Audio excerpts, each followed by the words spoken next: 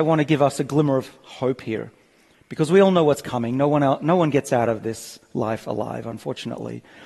But my father, you remember from the first slide, he was born at a time when he's just on the cusp of potentially being able to benefit from these technologies. And he's been taking uh, a couple of molecules that we've been publishing on, resveratrol and, and NMN, this NAD booster.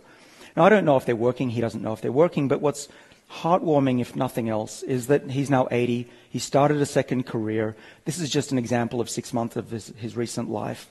And he's just, he's wondering, what's going to happen now that I don't seem to be getting old? And I'm, I'm watching all, he's watching all his friends uh, decline at that age.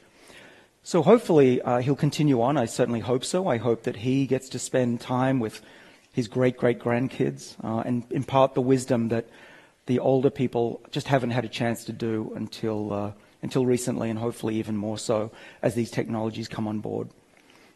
And so, what am I telling you? I'm telling you that these, there are technologies that are just around the corner that could really change the world, not just for for families, but for the economy of the world, freeing up trillions of dollars that could actually allow us to to make this much uh, world a much better place where we could all thrive, be more productive, and impart the wisdom that I think is a great loss every time someone passes away. Anyway, thank you for listening. I appreciate it.